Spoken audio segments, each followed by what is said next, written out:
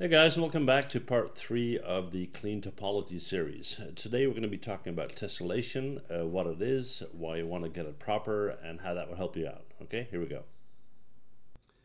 Okay guys, well we're in uh, Maya 2018 and as mentioned we're going to be talking about tessellation. Now in order to understand what we're talking about you first need to know what tessellation is, right? Okay, so I'll just uh, drag in an image here and uh, this is something off of uh, Wikipedia. And basically, what tessellation is is um, when you cover a flat surface with the geometrical patterns like uh, circles, squares, triangles, and so forth, in a way that there are no gaps and no overlap. Right. So, how does that apply in into the 3D world? Well, for example, we're in Maya. Let's uh, take a um, simple cube here, and let's hit Control A to open up the attribute editor. And let's go in and give this 5 by 5 by 5 subdivisions. Now if I zoom in and I go to face, you will see, oh, my soft select on, sorry. You will see that I got a flat surface on top here. It's covered in squares and they're all geometrical patterns, okay? And there are no gaps and no overlaps. Okay, perfect. So what do you care, right? Well, the reason why proper tessellation is so important is because if it's not, it will uh, create uh, problems. And I'll give you an example. I'm just gonna go in and select this area right here. And I'm gonna hit Control E to extrude, hit W to pull out, and there we go. Now, in itself, if I had this object and I would uh, put, a, let's say, a blue Lambert on it or whatnot and render it out, I'd be fine, right? But what if I want to bend this guy? So I'm going to go to object mode. I'm going to go to deform, uh, non-linear, and bend. Uh, rotate that bend handle. There we go. So let's do that. If I look at the shape here, you see that it doesn't look right at all and it doesn't look right for the simple reason that there are no vertices here to allow the bend, okay, because that's off. Now, this is a pretty obvious one, but I'll show you one that's much more subtle, okay? So let's delete that. Let's take another cube. Let's go in and uh, put in, once again, let's do 10 by 10 by 10. There we go.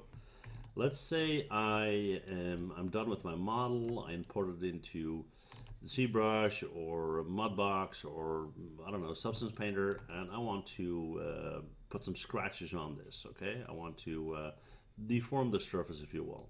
So I'm going to right-click on a vertex, take one of these vertices. I'll hit B for soft select, so that's my impacted area.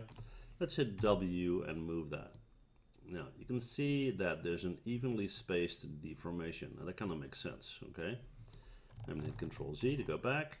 Now let's go in here and just get rid of a few of these edges. So turn off B for a sec, go to edge, and I'm just going to go in here and get rid of a bunch of these edges.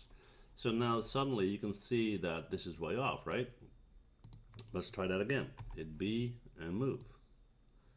And suddenly you see it's looking totally different, right? It looks off for the simple reason that you don't have that proper tessellation.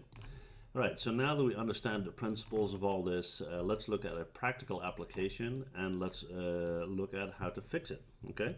So I'm gonna go in and open up a model that I did a very long time ago. And in itself, um, the mesh isn't wrong. I mean, it's clean.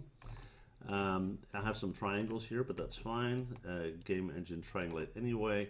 I have some triangles here to get rid of that n-gon. So uh, you would say it's a clean mesh. But you already see the problem here that the subdivision level here is quite dense and even at the handle.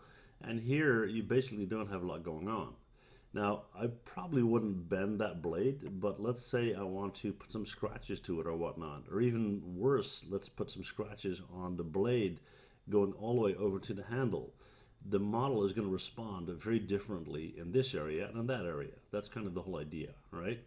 So what we're going to do is we're going to fix that, and in this case, we're going to do that in ZBrush, all right? Now, before we do, we need to do a little preparation here uh, for the simple reason that once you add subdivision, you will uh, smooth edges as it calculates averages, okay? So uh, let's say at the end of this blade right here, I put in a little edge loop and I'll hit five so you can see it better, or four, sorry. Yeah, you can see that I put one right there. Uh, for the same reason that if I were to hit three right now to smooth it out, it would round those edges, okay? So once you're satisfied with that, what you can do is uh, export this. So I could use GoZ, but I'm not. I'm gonna go to uh, File and uh, let's see, we'll do export selection. I'll just uh, overwrite this guy. Okay, so I want to load up my sword. I'm gonna go uh, to import and on my desktop and this is my sword. This is a test so we'll just ignore that. That's my sword. We're going to open that up and I'm going to left click and drag on my screen and there you have it. And I'm going to click on edit so it will become an editable mesh right? Okay so uh, let's look at our uh, subdivisions. I'm going to go to poly F right here. You can see nothing has changed just yet. All right and let's fix that.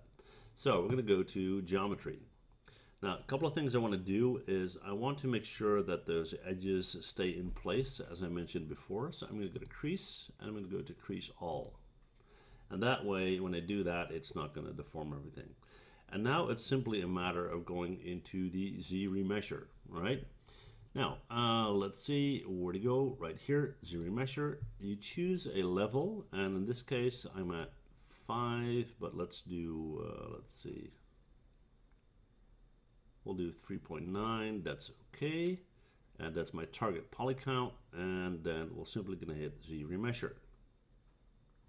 As we do that, you see that it immediately has an impact on my model.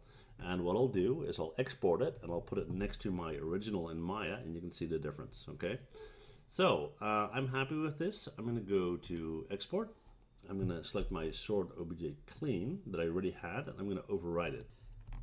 Okay guys, we're back in Maya and here you see uh, our top model is our uh, re or Z mesher uh, model from um, ZBrush. You can see that we have a perfectly divided um, you know subdivision and tessellation and here is our original okay so hopefully this video explained to you why it is important and why you need to pay attention to that and an example of how to fix that if you have that problem okay um, yeah, that's it. So uh, hopefully you enjoyed this video. If you did, please let me know. Uh, hit that like button. And if you don't want to miss out on future videos, make sure you subscribe. Okay?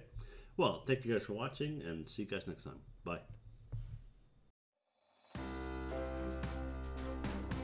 Well, thanks for watching. And before you go, please hit that MH button to subscribe, okay? See you guys next time. Bye.